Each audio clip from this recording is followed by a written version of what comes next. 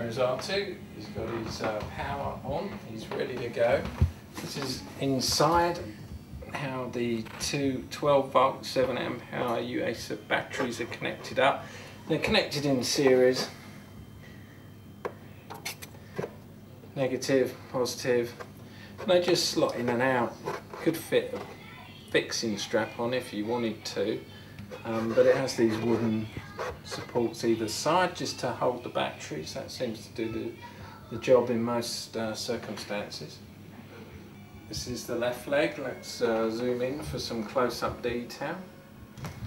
This is um, sort of thick card type of material.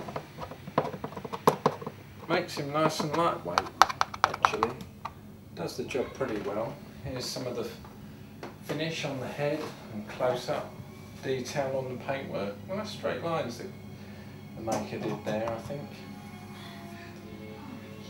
And the, the eye, this is uh, convex.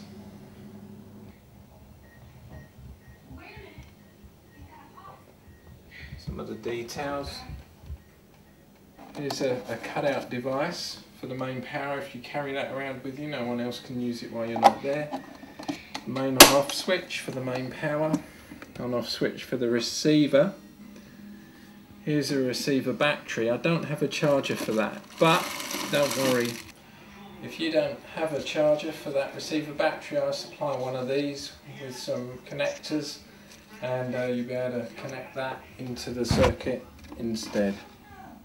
Just here, here are the servos and the radio control gear and basically that's forward, that's reverse, rotate right, rotate left and what they're doing, these switches, they're fully proportional control which means if you move it a little bit, they move a little bit. You've got complete control in response to your finger on the joysticks,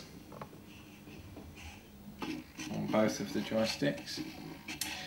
And uh, they are just operating the joystick from a wheelchair motor. All this system is a wheelchair system. That's the hinge to the head. So the head just hinges up and down for access, it doesn't rotate at the moment or anything.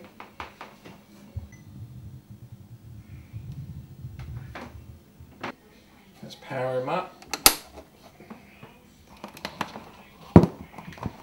My uh, cutout switch is already on and my transmitter and receiver is on.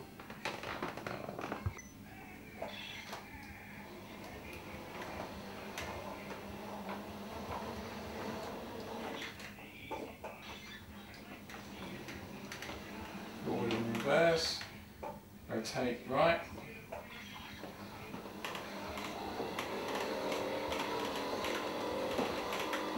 And rotate left. A little faster left. I haven't got the panel on the back at the moment, but don't worry, I have got that.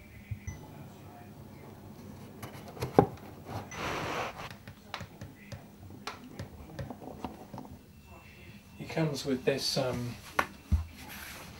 sort of piece of thick, strong foam that you can put him on as well.